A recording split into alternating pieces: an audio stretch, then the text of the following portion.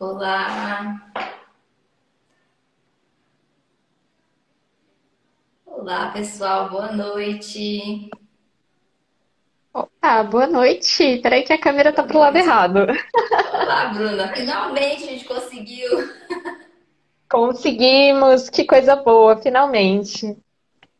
Oi, gente, pessoal que vai entrando. Eu vim correndo, gente. Eu tava treinando. Eu tô, ainda tô com roupa de esporte ainda. Ontem eu tava toda arrumada de batom e o Instagram não funcionou. Aí hoje vai ser Pois assim é, mesmo. ontem, é verdade, ontem o Instagram não tava abrindo, né, a live ali pra gente. Eu vi que hoje você tava ali na correria, né?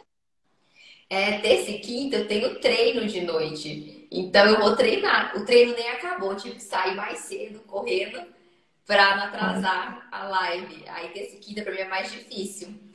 Oi, Aí, galera, dá gente. like, né? É, vamos deixar o like aí que eu ainda tô com roupa de capoeira ainda. Nem deu tempo de Tá de trocar. capoeira. Tava. Olha, que legal, que bacana. Poxa, que legal. É, aí não deu nem tempo de trocar de roupa, nem nada, nem passar batom. Mas tá certo. É bom que a gente vai fazer nossa live hoje. E para começar, Bruna, eu queria que você, é, todo mundo, eu acho que quem não conhece a Bruna ainda, já sigam ela lá nas redes sociais dela, na- no, no seu pessoal e também nos outros canais de comunicação científica que você tem de divulgação. E eu queria que você falasse um pouquinho sobre você. É, e o porquê que você gosta de astronomia, como a astronomia te interessou e também, claro, do papo astronômico, do giro astronômico. Fala um pouquinho pra gente. Ai, legal. Bom, primeiramente, obrigada, né, por- pelo espaço aqui para a gente falar um pouquinho sobre esse assunto que eu amo, que eu sou apaixonada. Eu comecei a gostar de astronomia com, assim, por volta de uns oito anos de idade ali, eu já procurava as revistinhas, procurava é, uma fita cassete que o meu pai comprou sobre o sistema solar, e eu acho que foi ali que começou a minha paixão por esse tema, porque eu fiquei fascinada né, com ah, os planetas, né, com o espaço, aquela coisa tão misteriosa, né, tão bonita. E dali começou a minha paixão. Então, as revistinhas é, super interessante, revista Recreio, elas foram assim a, a minha foi onde tudo começou, né? Então, de lá para cá, eu não parei mais de consumir esse tipo de conteúdo, né? E com o passar do tempo, a gente teve acesso muito mais é, fácil a esse tipo de conteúdo por causa da internet, né? Então a internet facilitou bastante e daí eu comecei sim a adentrar realmente nesse mundo. E é um tema que quanto mais você consome esse conteúdo, mais apaixonado você fica, porque mais perguntas surgem, mais mistério ainda. Quando você pensa que está desvendando o mistério, você descobre que é só o começo, né? Então é algo assim para mim fascinante.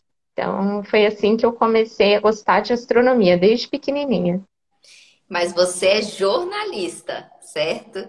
Então, por Isso. que você escolheu o jornalismo e a divulgação científica como jornalista e não astronomia? Essa jornada sua, como foi? Então, eu assim, desde de, de também pequena, tudo começa, eu acho que meio lá na nossa infância, né? Que a gente vai é, pegando, assim, separando o que a gente gosta, o que, que a gente é, se atrai mais, né? Então, desde pequenininha eu sempre gostei muito de falar, desde pequenininha eu sempre gostei muito de me comunicar. E, assim, chegou um momento que eu estava lá no ensino médio, no terceiro ano do ensino médio, que a minha escola levou os alunos para conhecerem uma universidade. Falaram, olha, a gente vai hoje é, conhecer a universidade e um dos primeiros laboratórios, o primeiro, a primeira sala que a gente entrou era a sala de jornalismo. E aí a galera que estuda comigo, se tiver alguém aqui assistindo, vocês vão lembrar que, inclusive, a pessoa que conduziu a gente ali na, na faculdade, ele era um professor da, de jornalismo. E aí eu fiquei encantada com aquilo, fiquei apaixonada. Só que desde pequenininha, como eu gostava de ler a revista Recreio e aquela coisa toda, né? Se tinha uh, tudo que tinha a ver com ciência me atraía muito. Então, Daí eu pensei, poxa, para eu ser cientista, eu acho que vai ser muito difícil, sabe? Eu achava que ia ser muito difícil ser cientista. E aí eu falei, por que não fazer o jornalismo e falar sobre ciência? Que é uma coisa que eu gosto tanto, que eu já né, gosto de consumir esse tipo de conteúdo. E assim foi. Né? Durante aquele período ali da adolescência, eu passei é, no vestibular para estudar lá no Rio de Janeiro, na capital, a faculdade de Física, lá do Rio, né? acho que era na é, UFRJ, é, UFRJ, fazer física. Só que eu morava no interior, né? E aí é complicado deixar um interior do estado, ir para a capital. Não tinha recursos para isso na época, né? Então, segui ali a minha jornada, segui minha vida. E aí, quando eu consegui fazer o curso de jornalismo, eu falei, é agora, agora eu vou fazer jornalismo. E aí eu já estava fazendo a divulgação científica. Por quê? Naquela, naquele período, naquela época, né, eu ainda não tinha condições de estudar jornalismo, porque era muito caro. A, a faculdade de jornalismo, a mensalidade naquela época, que já tem assim há bastante tempo, é, ela era mais de mil reais. A, só a mensalidade era mais de mil reais. Então era, era algo assim, era algo para mim ainda inacessível, né? E a física eu não pude porque era muito longe, era lá na capital, não tinha como me manter. E aí assim foi. Aí o que, que eu falei? Por que, que eu não faço, então, um blog? E aqueles conteúdos que eu traduzia, que eu já pesquisava, que eu já deixava guardado nas minhas pastinhas no computador, falei, vamos deixar isso público, né? Vamos fazer um blog e colocar ali para o público. E foi assim que tudo começou, né? Eu comecei já ali movida a esse sonho de ser jornalista, de falar sobre é, astronomia, de encontrar pessoas também que quisessem falar sobre isso, né? Porque tem uma coisa que eu percebo que é assim, é muito difícil no nosso dia a dia, é, no dia a dia, né, você conseguir falar sobre o que você ama.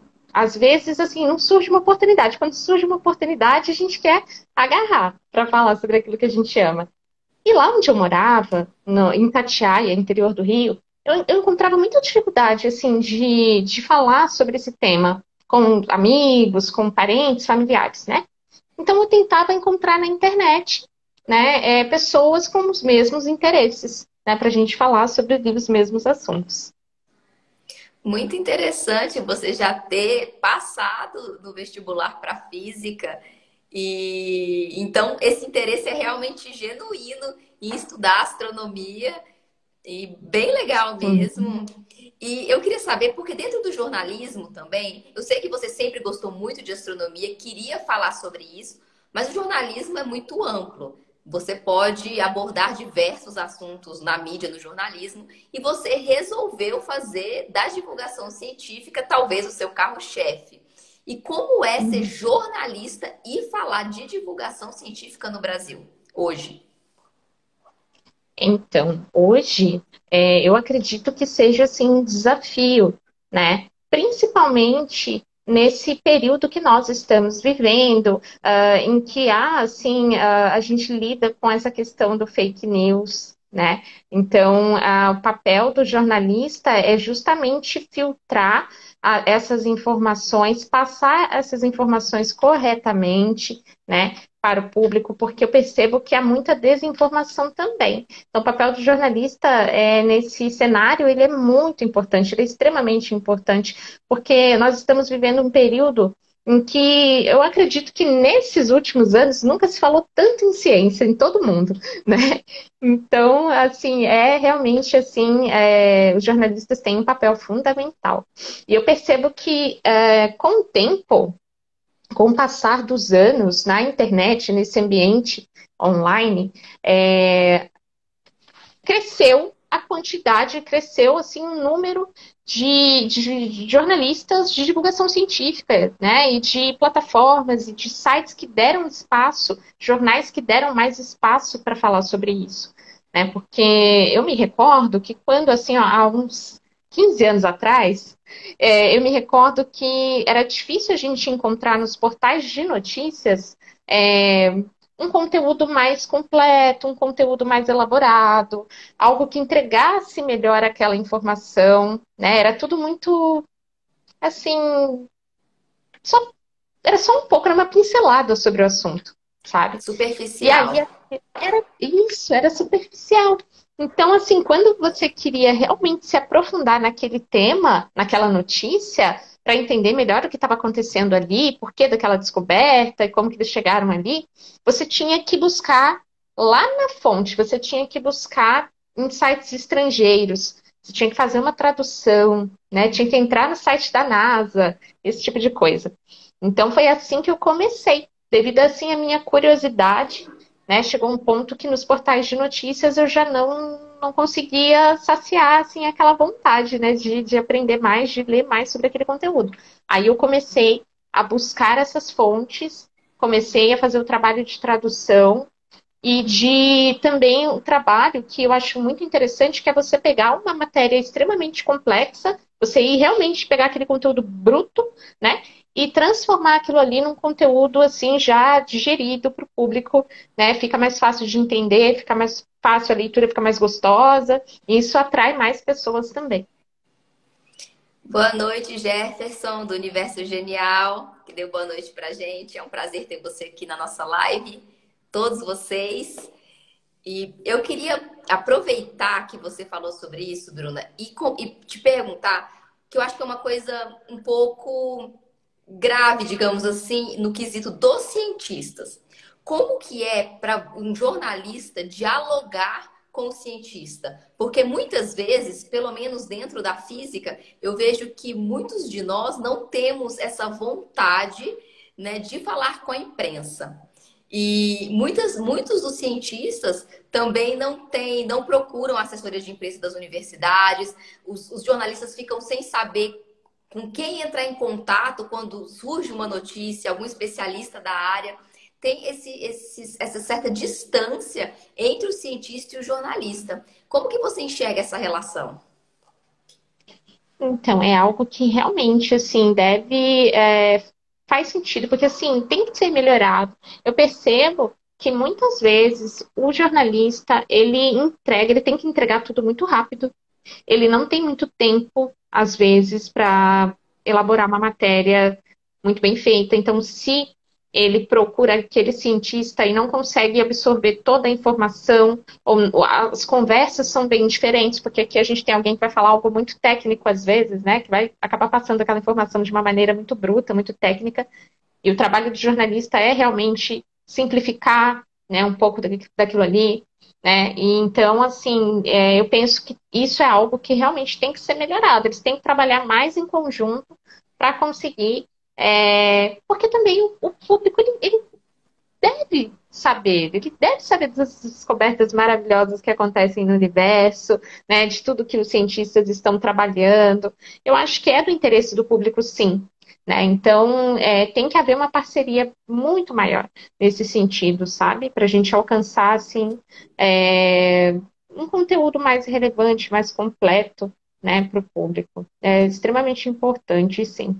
E Mas, pra... assim, sabe que é, eu tenho percebido que, assim, é, com o tempo, assim, eu tenho percebido que é, existem alguns é, jornalistas, né, que já trabalham há muito tempo nessa área e que eles já, já tem assim as pessoas certas que eles procuram, sabe? Os especialistas assim que eles vão lá para tirar as dúvidas, né? Então assim, existe isso também, né, essa parceria.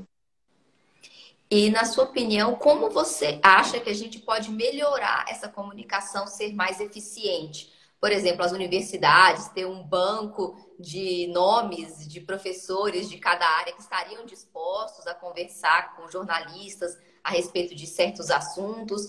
Que, que outras medidas nós poderíamos tomar dentro da universidade para tornar essa relação um pouco mais eficiente? É, então, eu acredito que realmente é, deva ser criado um canal né, que consiga unir essas, uh, tanto o jornalista e o cientista. Isso seria, realmente, assim, seria o ideal, né? É um canal dentro da própria universidade, que os, os jornalistas pudessem contatar ali os cientistas diretamente, né? Porque a gente precisa também é, de é, cientistas que queiram também né, fazer essa ponte, assim, né? Participar mais. Né? E a gente sabe que, assim, é, o jornal, cada um tem um papel fundamental muito importante na sociedade, né? Mas se eles trabalharem em conjunto, nossa, vamos fazer um trabalho maravilhoso. Né? Então, se dentro da própria universidade isso for mais assim incentivado e principalmente incentivando a divulgação científica dentro da faculdade, acho que é uma, um bom negócio, assim, é, um, é um caminho, sabe? Bem legal. Eu estive no congresso de divulgação científica, o primeiro foi em São Paulo, alguns meses atrás, e foi uma discussão muito grande a respeito disso.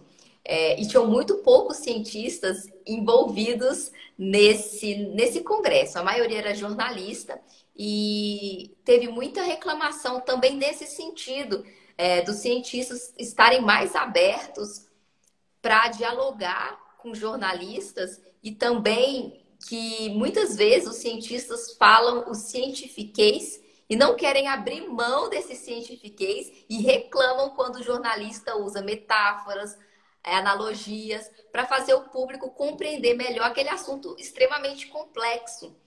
Como que a gente pode chegar no meio termo, no caso de agradar, por exemplo, os cientistas, mas também fazer um texto minimamente palatável para o público, porque não adianta a gente chegar lá também e escrever como um artigo científico que as pessoas não vão se interessar por esse assunto.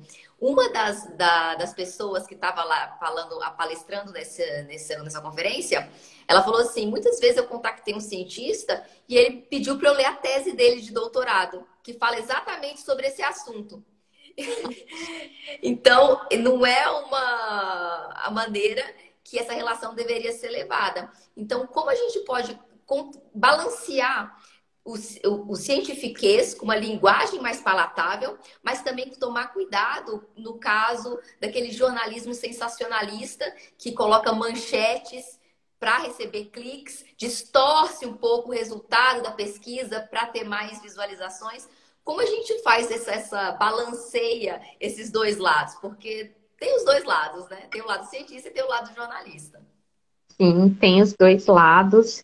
E aí, esse é realmente, assim, um tema interessante a gente falar sobre isso, porque a gente está mexendo, assim, com aquilo que é do interesse do jornalista e aquilo que é do interesse do cientista, né? E ali, a gente tem que chegar num consenso né? E o público, que é o, o, alvo do jornalista, né? E também é o alvo do cientista, porque o cientista ele está ali pesquisando e, e né? É para o público também. A gente vai usufruir também ali da, daquela tecnologia, daquela descoberta e tudo mais, né?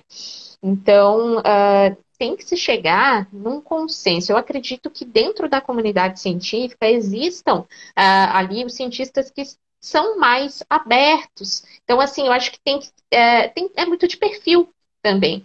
Tem, hoje a gente vê mais uh, pessoas da academia é, falando com o público. Eu fico legal, eu, eu gosto de ver isso, assim, eu acho legal.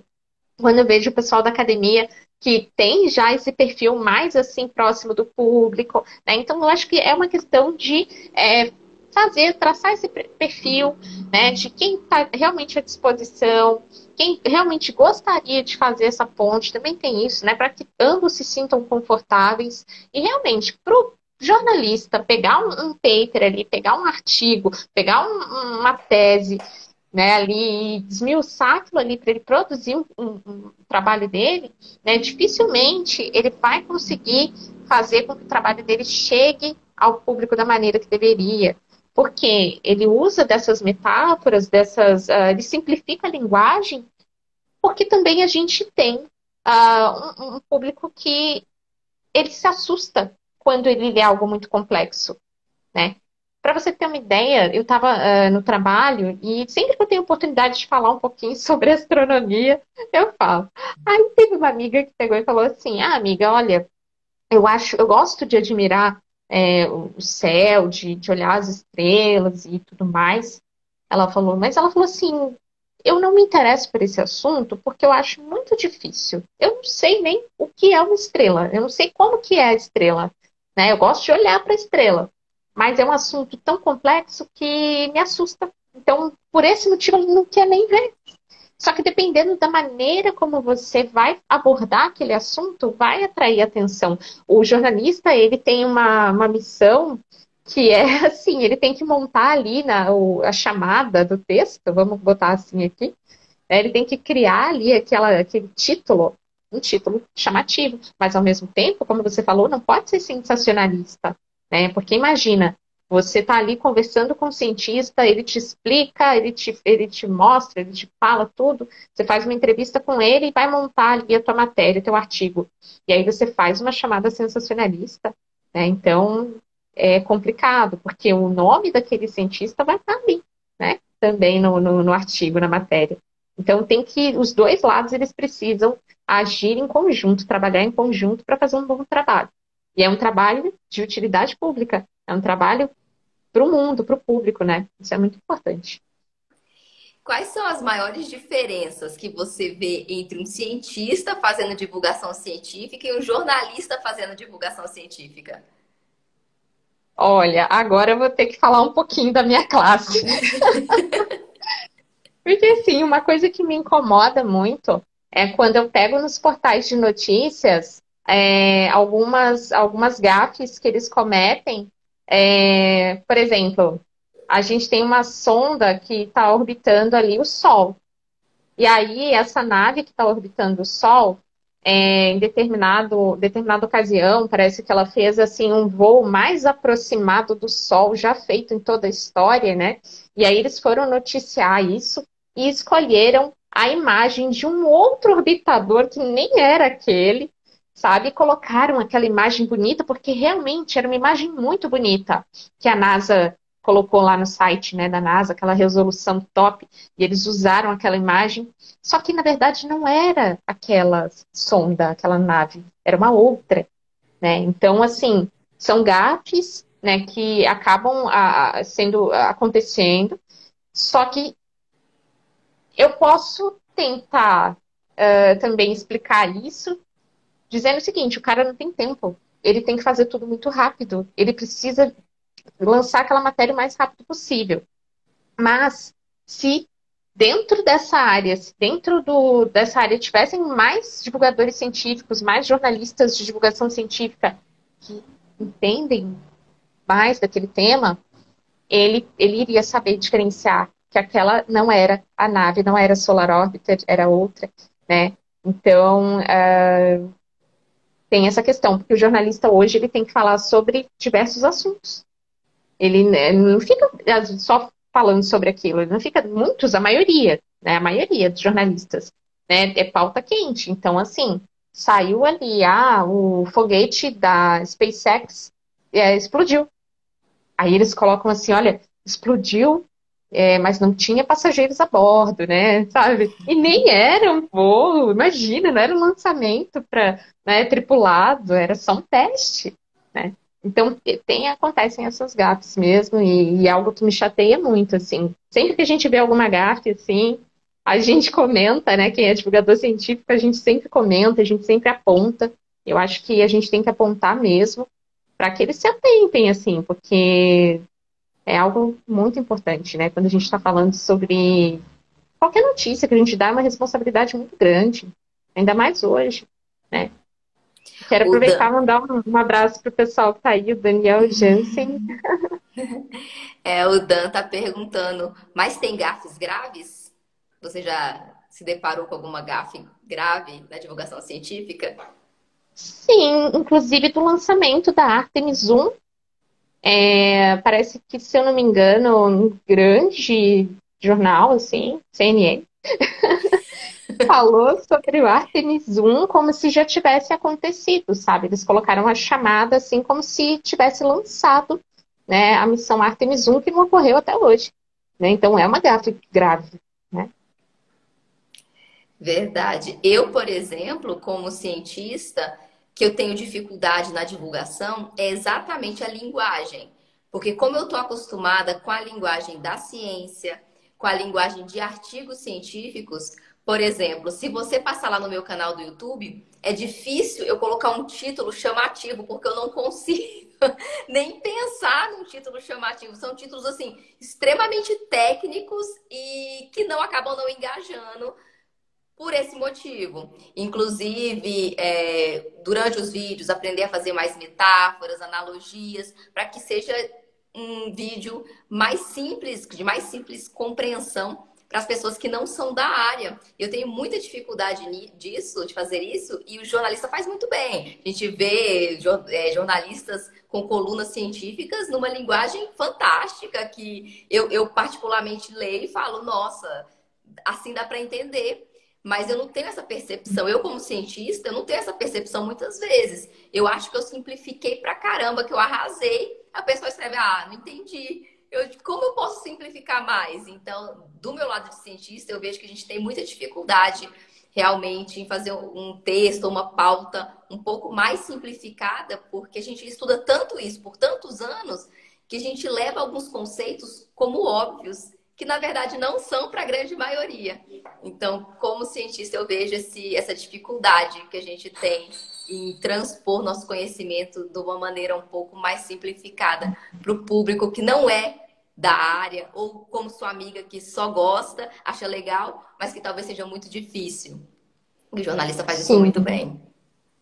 É, é verdade, é, isso é, é realmente assim, o papel do jornalista é simplificar, é colocar ali numa linguagem é, mais próxima do público, é dar exemplos, né? A gente vê muito, a, é, a gente vê muito assim comparações às vezes, né? Assim para é, do tamanho de um ônibus, né? A gente faz algumas comparações assim. Né? Então, assim, a chamada também das matérias, dos artigos, né? Tem que ser chamativo, tem que usar uma, fazer uma provocação, né? Então, assim, é realmente assim, eu acho que se, como você falou, se tiver essa ponte, se o jornalista e o cientista conseguir trabalhar em conjunto, nossa, a gente faz um trabalho fenomenal, assim. Né? Com certeza, ia ser o máximo. Devemos fazer mais colaborações entre cientistas e jornalistas, com certeza. Os dois lados saem ganhando e mais ainda, o público sai ganhando com matérias é. mais interessantes. E é verdade. Eu, como cientista, fazendo divulgação científica. Você, como jornalista, fazendo divulgação científica. Nós somos concorrentes ou nós somos colaboradoras. Por exemplo, várias revistas de divulgação científica têm colunistas cientistas e tem colunistas jornalistas. Como que você vê isso mais como uma concorrência, como uma colaboração, como um apoiando o outro? Eu vejo como uma colaboração. Né? Para mim, assim, é, é, é uma colaboração, porque um precisa do outro. Né? Então, como a gente falou aqui agora, né, o, o, jornalista ele tem um papel ali que é muito importante, ele faz, ele tem uma habilidade que é importante, para a comunicação, e o cientista tem uma habilidade muito importante também para a sociedade e tudo mais. Então, se a gente fizer essa fusão, né, então é como a gente falou, se a gente consegue unir essas habilidades, a gente faz um trabalho fenomenal. E tanto o, o, pesquisador, o cientista que já faz a divulgação científica, muitas vezes ele também é, ele também, assim, precisa do, do outro, né? Que é o jornalista tirar uma dúvida, alguma coisa assim. Então, acho que é, é, colaboramos. E principalmente, não só pelas habilidades, né, que são mais acentuadas em um ou outro, mas também pelo trabalho, pela importância do trabalho da divulgação, pela importância de noticiar, de dar aquela notícia.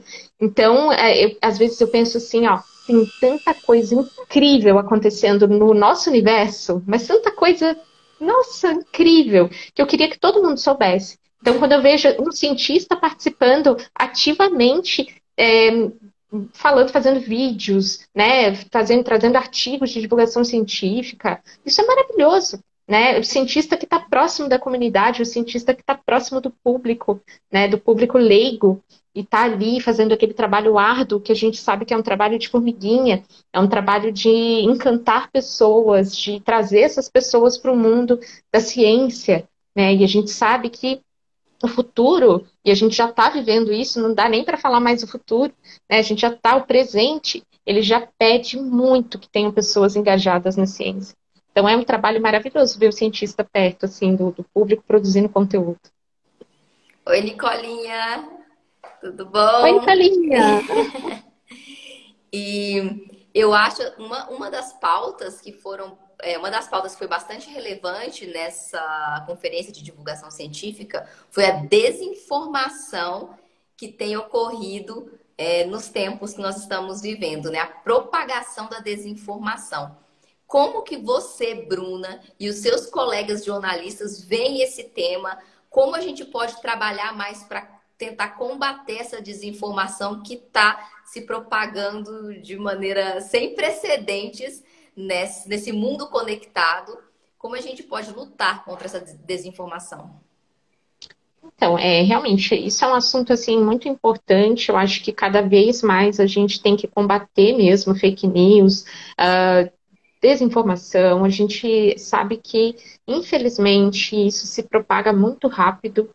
E para quem faz um trabalho sério, um trabalho uh, ali que a gente tem tanta se esforça tanto para entregar corretamente aquele conteúdo, né, tudo bonitinho. Aí chega alguém, faz ali um, um conteúdo usando fake news, né, fazendo uma chamada provocativa, falando, olha, é, asteroide vai bater na Terra dia tal. Gente, pelo amor de Deus, não faz isso para caçar clique, para, sabe? Ou então, tem um caso que é muito interessante, que é o caso da fosfina em Vênus.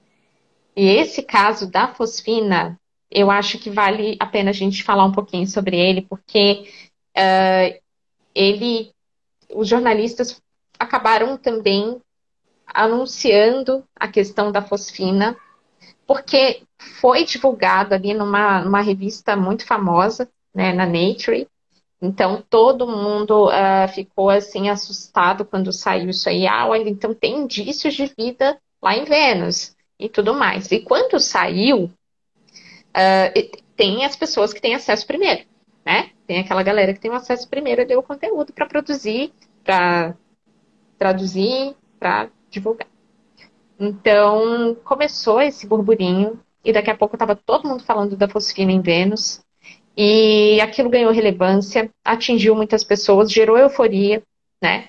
Em toda a comunidade científica, toda a comunidade jornalística, e depois a gente foi ver, né, que não era nada daquilo, que foi um grande engano, né, que aconteceu. Então, assim, é, a gente tem que tomar muito cuidado, né, quando a gente faz esse trabalho de comunicação, né, é, mas nesse caso aí foi um caso que pegou todo mundo, né, devido a essas circunstâncias aí, né, ganhou, assim, uma, uma relevância muito grande, né, por estar lá no, na, na Nature, esse artigo.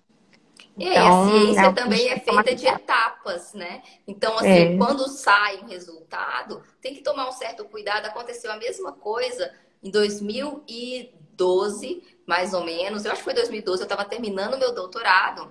E eu estudo, assim, meu objeto de estudo principal é a radiação cósmica de fundo, que é um, que é um objeto lá do universo primordial, uma radiação que vem lá do início do universo. E tem uma assinatura que aparece na radiação cósmica de fundo, que indica nessa radiação, que indica que o universo sofreu uma inflação, uma expansão muito acelerada lá no começo. E muita gente procura isso, porque essa teoria da inflação não é comprovada até que isso seja encontrado na radiação cósmica de fundo. Em 2012, eu estava numa conferência, o pessoal do BICEP, que é um experimento, relatou que eles tinham encontrado, soltaram champanhe, foi aquele burburinho na comunidade científica, até porque esse é um resultado de prêmio Nobel, entendeu? Mas, no fim das contas, não era isso. É, eles mediram, o que eles mediram estava correto, mas não era da radiação cósmica de fundo, era de contaminantes. Era contaminantes da galáxia e não essa assinatura primordial. Então, foi um caso da mesma forma.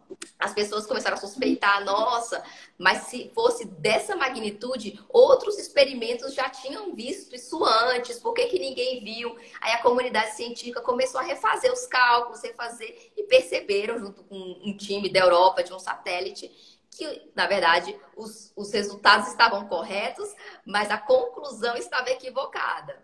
Isso acontece muito na ciência. A gente só tem que tomar cuidado na hora de divulgar esses resultados para a imprensa e divulgar até mesmo dentro da comunidade científica. Esperar. Nesse caso da fosfina ainda foi um pouco mais grave, porque o artigo já tinha passado né, na avaliação por, por pares, o artigo já tinha sido publicado. No caso que eu mencionei, o artigo ainda estava só no preprint.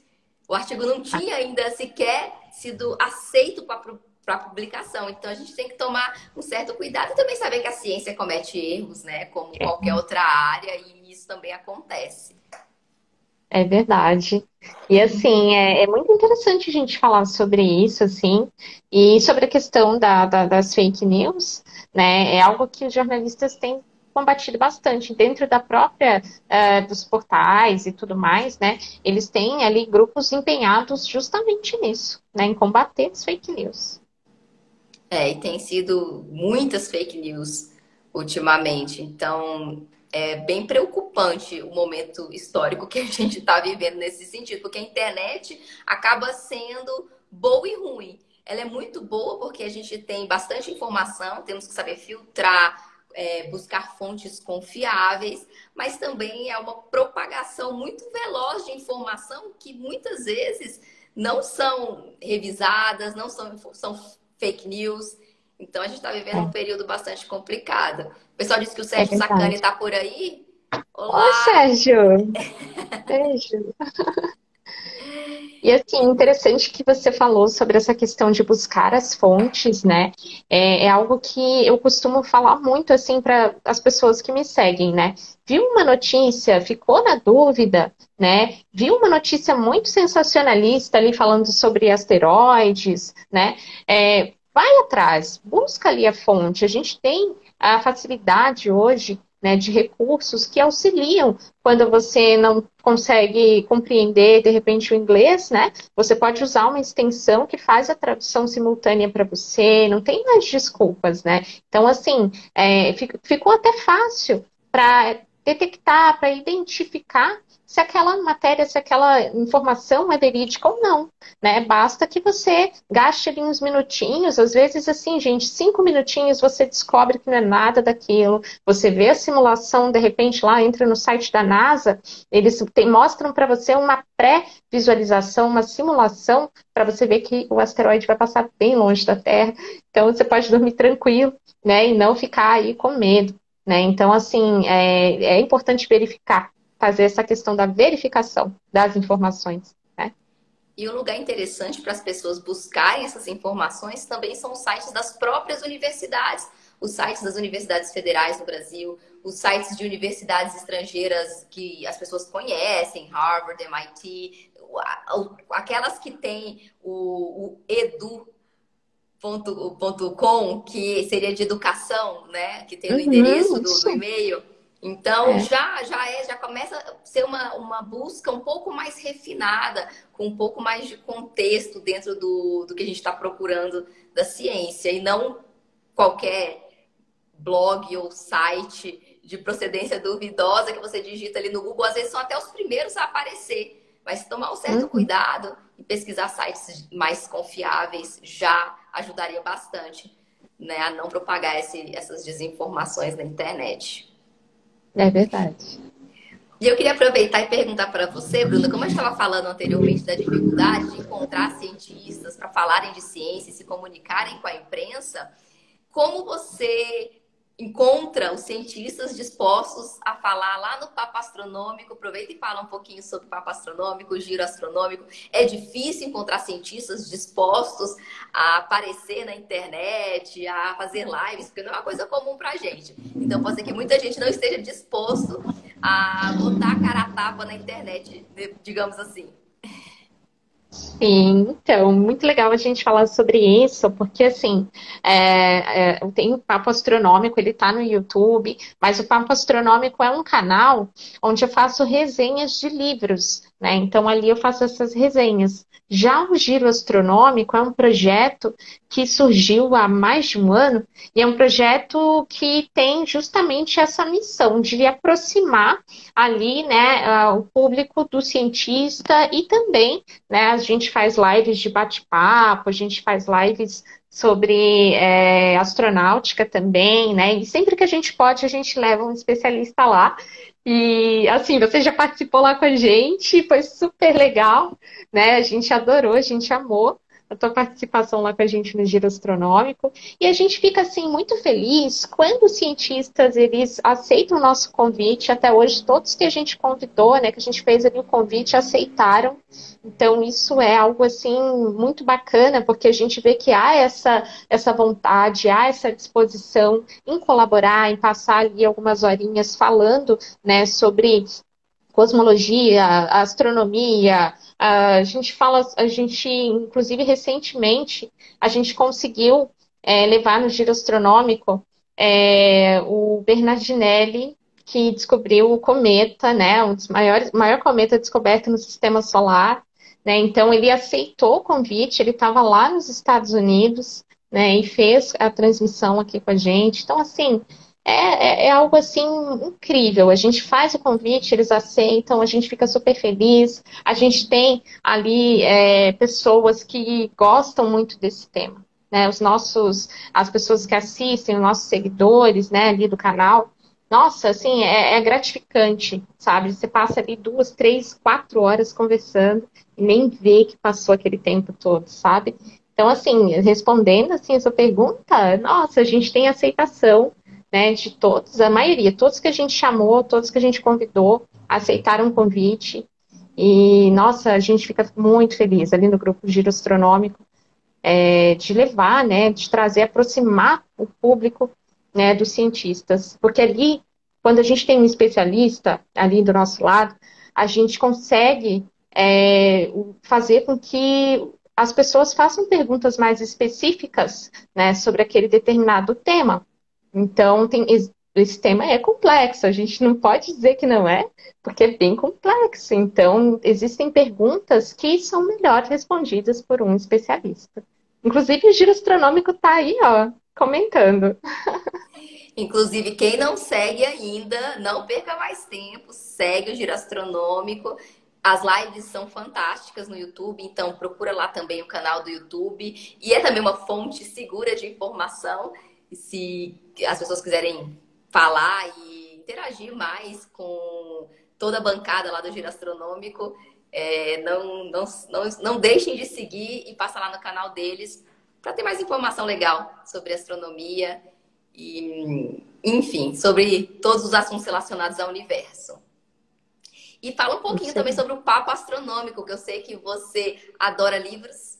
Eu vejo direto você postando livros de astronomia e eu queria que você falasse sobre o papo astronômico e desse para os seguidores aí que estão assistindo a live, as pessoas, e que vai ficar gravada também para quem quiser assistir depois. Eu vou subir para o YouTube, gente. Então, tem muita oportunidade para ver essa live em outro momento.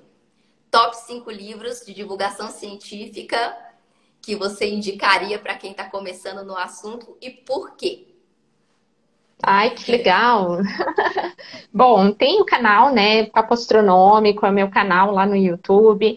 Eu sou apaixonada por livros também, essa paixão é desde pequenininha ali, né, que eu já falei para vocês que eu era, assim, desde pequena apaixonada por livros.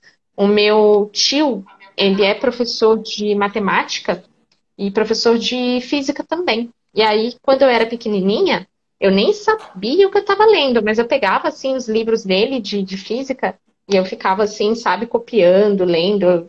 Adorava, assim, desde pequena. Então, essa paixão já é antiga. E aí, plena pandemia, a gente ali preso dentro de casa, sem poder falar com as pessoas direito, eu falei o quê? Vou fazer um canal lá no YouTube para a gente falar sobre livros. E foi assim que começou. E aí, a primeira resenha de livros lá no canal, até trouxe, estou com o livro aqui pertinho, foi esse livro aqui, ó, contando a história do Scott Kelly. É um astronauta da NASA que passou quase um ano a bordo da Estação Espacial Internacional. Ele ficou quase um ano longe de casa. E esse é um livro que eu indico muito para quem tem uh, interesse em astronáutica, para quem é apaixonado pelo uh, espaço, né, para quem quer saber um pouquinho mais sobre como é a experiência de estar fora do planeta Terra, né, para você que quer saber sobre as consequências também de estar no espaço, para você que é curioso e quer saber o que, que acontece dentro da Estação Espacial Internacional, né? Aquilo ali é um laboratório flutuante, né, Larissa? é um laboratório, então é muito legal vocês lerem esse livro, recomendo muito. E ele foi o primeiro livro que eu fiz a resenha, justamente porque, assim, por conta do contexto ali, né, que a gente estava vivendo naquela época, de não poder sair de casa. Então, essa analogia aqui com o astronauta que também não podia ir para casa dele, não podia sair da estação espacial, né? Então, é bem legal, vale a pena ser lido, tá? Astronauta Scott Kelly conta a história dele aqui, é um livro que eu li em pouco tempo, não demorei muito para ler, e fica a dica. O isolamento, só te cortando um minutinho para falar para o pessoal que o isolamento é um dos fatores mais importantes pesquisados pela NASA para missões tripuladas ao espaço. Porque a gente, né, os astronautas vão ficar no, em lugares confinados, isolados, isso com certeza afeta a saúde mental das pessoas a bordo dessas missões. E é um dos problemas que a NASA investiga, inclusive, para uma possível missão tripulada a Marte, por exemplo, que levaria muito mais tempo do que isso, né? Ida, estadia e volta. Então, esse é um, realmente um problema bem grave que a gente tem que tentar contornar se quiser ir para mais longe no espaço. É verdade. E uma das questões que o Scott Kelly abordou nesse livro é a questão do isolamento mesmo. Ele falou ali que não foi nada fácil, né? E também tem toda uma questão psicológica, né? Que inclusive ele estava sendo uh, um objeto de estudo, né? Então ele passou esse tempo todo lá também para que é, isso pudesse ser mais entendido, né? Como que um, o ser humano ia reagir durante tanto tempo assim, isolado mentalmente falando. Agora tem esse outro livro aqui, que é o Breves Respostas para Grandes Questões, do Stephen Hawking. E eu sou, assim, muito fã do Stephen Hawking, porque, para mim, ele era isso que a gente estava falando aqui agora. O cientista que faz a divulgação científica, o cientista que fala é, sobre aquilo que é o objeto de estudo dele de uma maneira que o público consegue compreender consegue se apaixonar, sabe? Ele, para mim, ele era assim, ele e o Carl Sagan são assim os mestres assim para mim da divulgação científica. E Toda eu sou apaixonada por ele. Stephen Hawking é uma figura que inspira e que traz interesse, né? Pelo, por, não só pela ciência, que ele era um excelente cientista, não só pela divulgação científica, mas pela própria história de vida dele, né? Que acaba inspirando todo mundo. É. Realmente um, uma pessoa ímpar. É verdade, é verdade. Ele tinha, assim, essa, essa questão da superação de limites, né? E toda a história de vida dele é maravilhosa para quem assistiu aquele filme A Teoria de Tudo, né? Lembra, né? Sabe bem. E para quem não assistiu, fica a dica. Assistam, que vale a pena, né? Então, esse livro aqui foi um livro que me ajudou muito a compreender de uma maneira bem rápida algumas questões assim que para mim ainda eram uh, de difícil compreensão ou que era algo que assim sempre que eu tinha que falar sobre aquele tema eu tinha que reler e tal. Então esse livro aqui ele explicou bem assim assuntos complexos e assuntos também que têm a ver com aquelas questões fundamentais assim né do ser humano né? Então, assim, Deus existe? Como que tudo começou? Então, ele já começa com algumas questões bem provocadoras, assim, né? Uhum. Sobre a existência de Deus, né? E tudo mais. E é um livro que chama muito, assim, a atenção por conta dessas questões. São questões fundamentais, assim, né? Se a gente pode prever o futuro, o que, que há dentro de um buraco negro, que eu acho que essa é uma das perguntas, assim, que todo cientista quando conversa com, com alguém, assim, as pessoas podem perguntar, elas perguntam, não é isso? Todo mundo pergunta. Todo mundo quer fazer perguntas sobre buraco negro.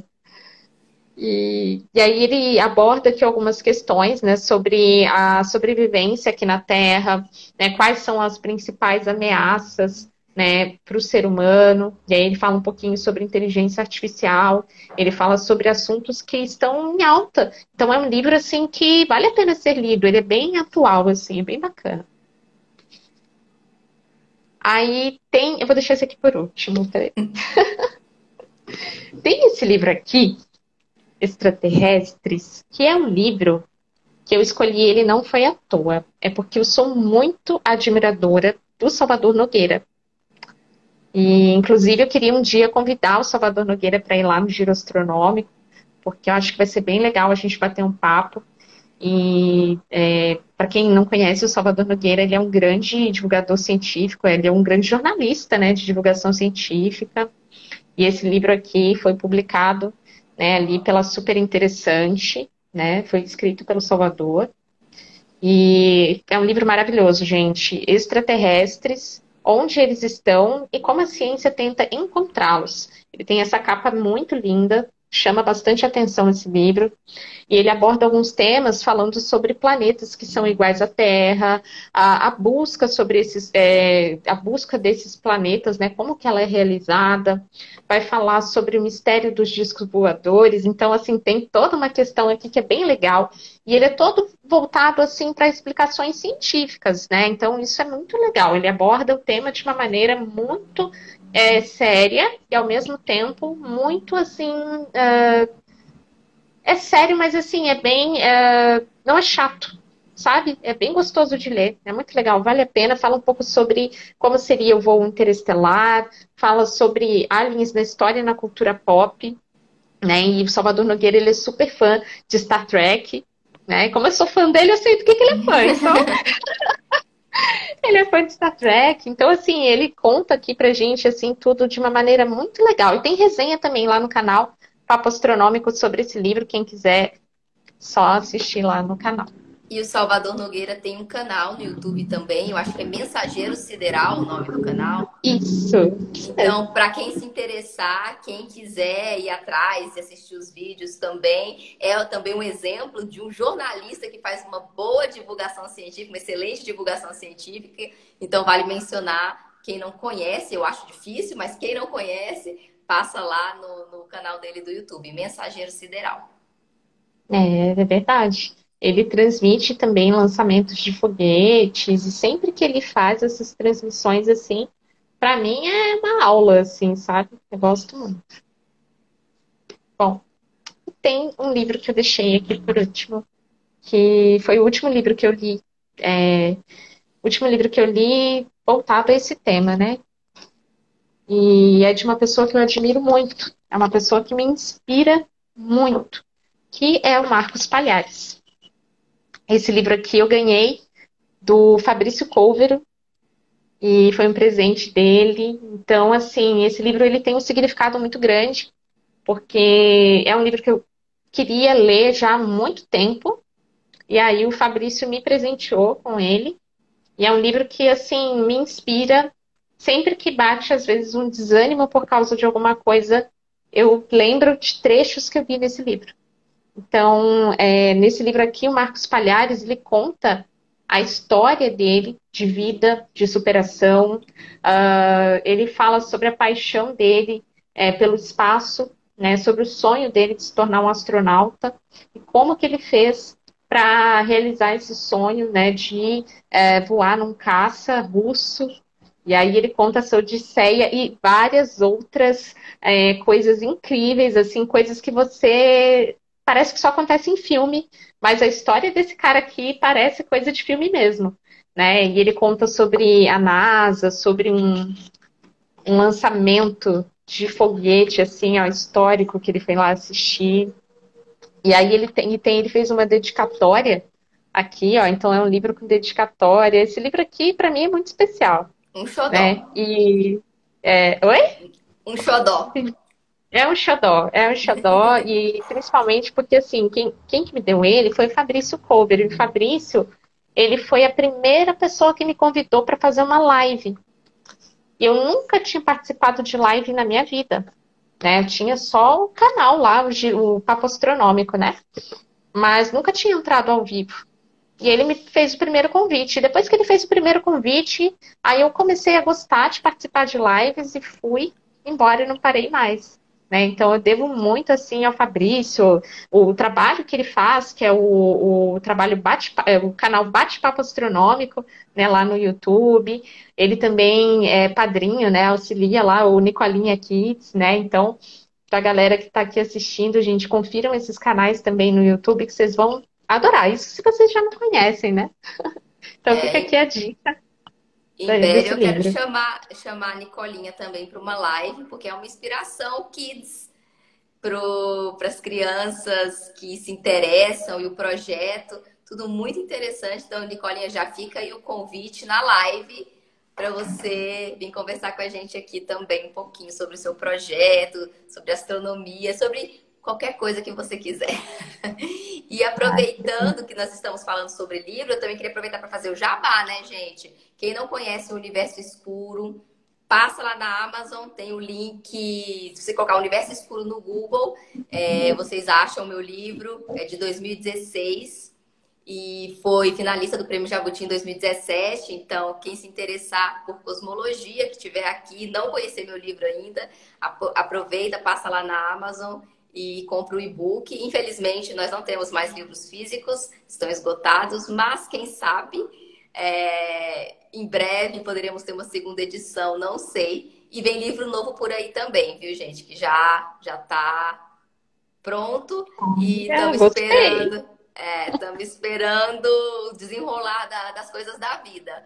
Mas o livro já está escrito. Então, esperamos que em breve ele estará na prateleira. Então, só momento jabá para o pessoal que está assistindo a live. Tá vendo? Já vou querer um livro novo, hein? Que bacana, que legal. Inclusive, já acabei de acessar aqui, já vi aqui que está disponível para Kindle, né? Vamos saber, gente. Ó, a próxima resenha do canal. Legal. E eu queria aproveitar para te fazer também uma pergunta que o Fernando fez lá nos comentários. O Fernando ele é muito ativo aqui no canal, muito mesmo. E ele é escritor de ficção científica, até por isso que ele adora o tema, que é sempre inspiração para ele escrever os contos dele.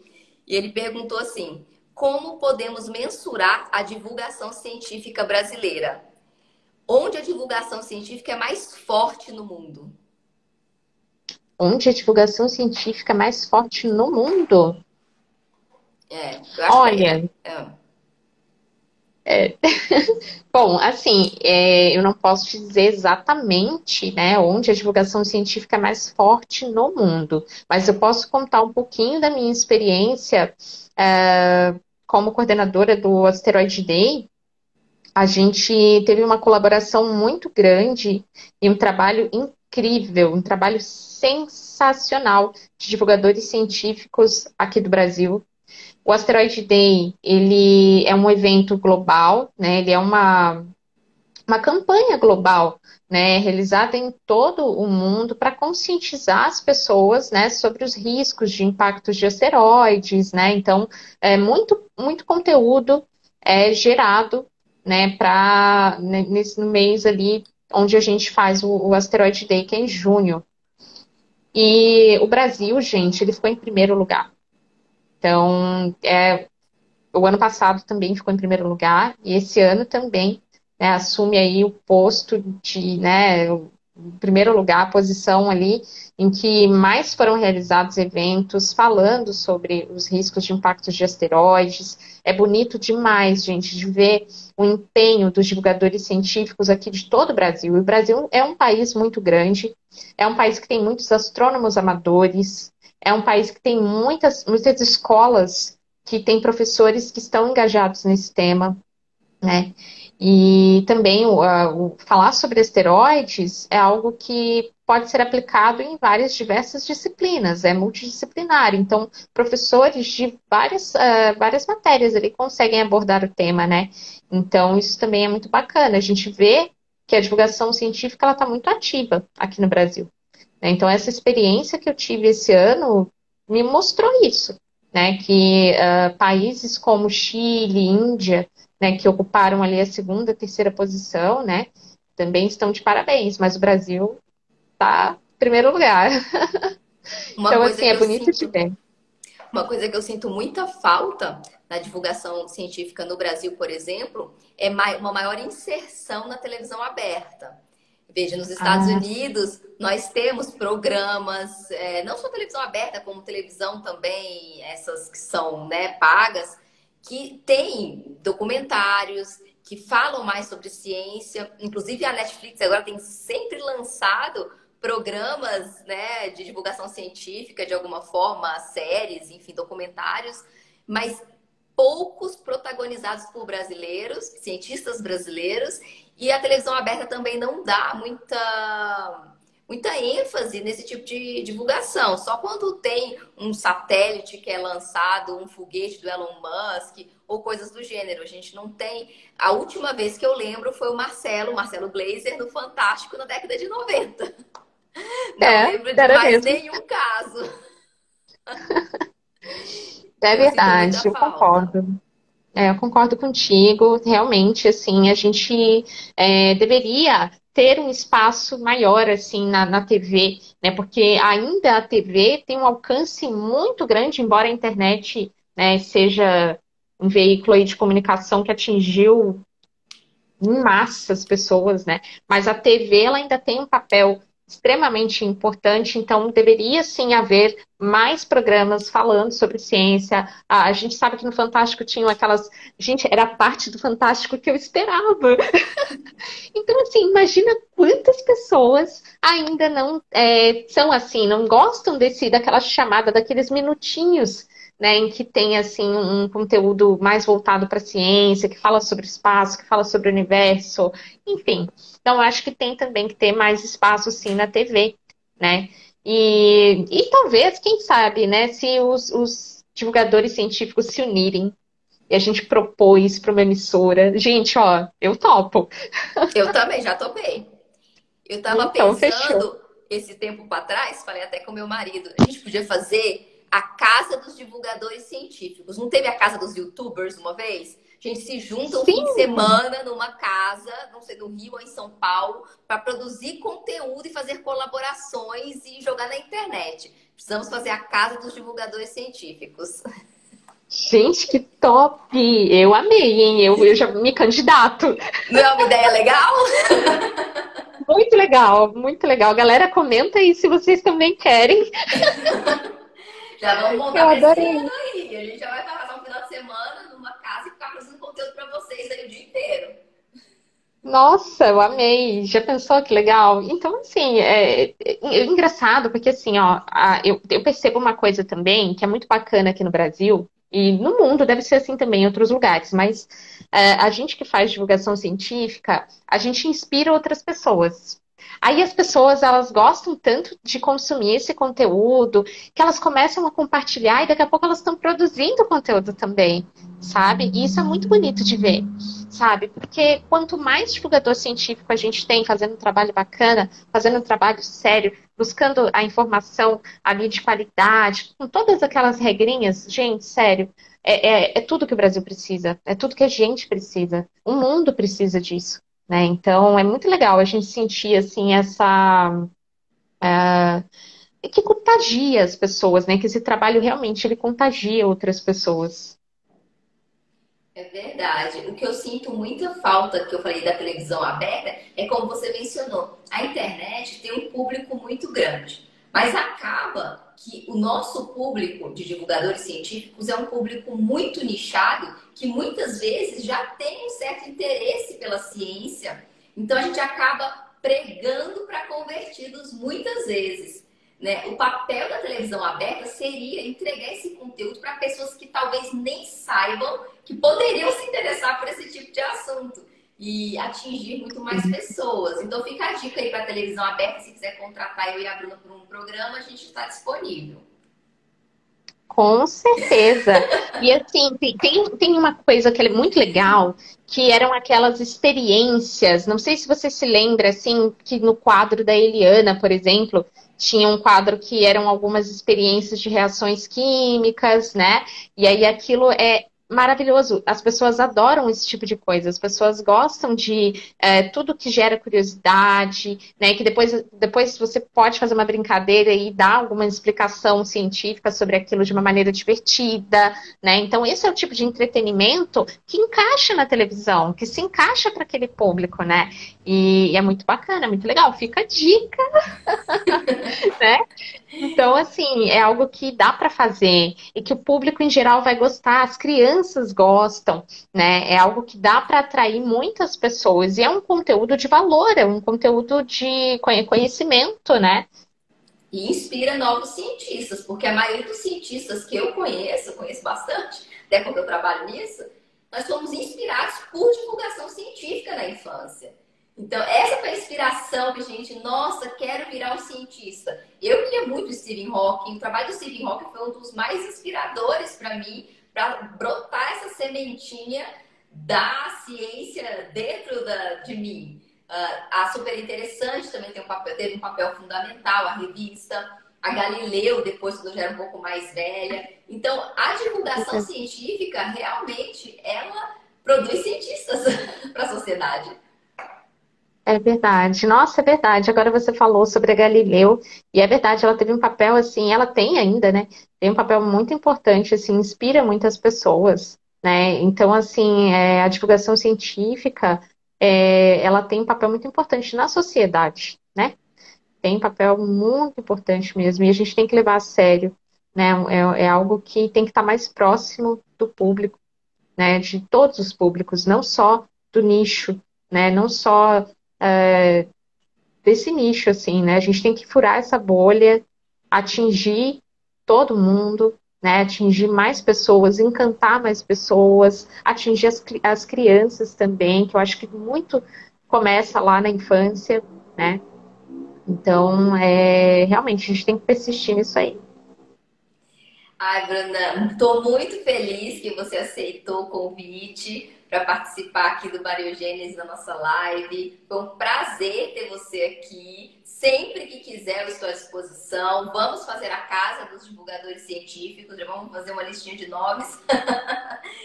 e para finalizar, que você falasse um pouquinho mais dos seus canais, é, divulgasse o seu trabalho para quem ainda não te conhece. Eu vou subir esse vídeo também no YouTube. Então é a hora de você fazer sua propaganda e que as pessoas vão lá seguir a Bruna porque o conteúdo é top. Opa, obrigada, né? Obrigada mais uma vez aí pelo espaço, por, por esse bate-papo aqui que foi tão legal, tão produtivo. Quero uh, agradecer também a todo mundo que esteve aqui com a gente, que deixou aí os comentários. Meu amigo, eh, meu amigo Lucas, ele é jornalista, e ele é, me entrevistou, fez uma matéria, ele falou ali, tive o prazer de entrevistar essa menina inteligente de muito sucesso. Nossa, Lucas, ó, obrigada. obrigada a todos que vieram aqui assistir a gente. Eu queria deixar, né, para vocês aí que ainda não, não conhecem o Papo Astronômico lá no YouTube. É o canal onde eu faço as resenhas de livros e em breve, né, eu estou preparando alguns conteúdos também que é mais falando assim sobre algumas notícias e tal, né? Deixando um pouquinho também a questão não só dos livros, mas falando também sobre outros temas. Então sigam lá, se inscrevam, Papo Astronômico. Tem também o blog, que é o papoastronômico.com.br, tá? E o Giro Astronômico, que é onde a gente faz ali as lives né, muitas vezes com convidados especiais, né, então se inscrevam também no Giro Astronômico, quero inclusive mandar um beijo aqui para o Denis, para a Angel, para o Eninho e para o Marcelo Space, né, que estão sempre com a gente lá, para o Luiz Leão também, né, são é, pessoas que estão sempre com a gente lá no Giro Astronômico e faz, fazendo esse trabalho maravilhoso de divulgação científica. Bruna, obrigada. Obrigada a todo mundo que ficou com a gente até agora. Eu achei que era muito tarde esse horário para a live, mas eu lembrei que a maioria aqui gosta de astronomia, então tem que ficar acordado até mais tarde um pouquinho. é verdade. Eu, né? Eu agradeço imensamente a você é, por ter, não só por ter vindo aqui falar do seu trabalho, mas pelo seu trabalho de divulgação científica, pela relevância do que você vem se propondo a fazer, não só você, mas todos os colegas lá que interagem no Papo Astronômico, no Giro Astronômico. É, é um prazer ver vocês live.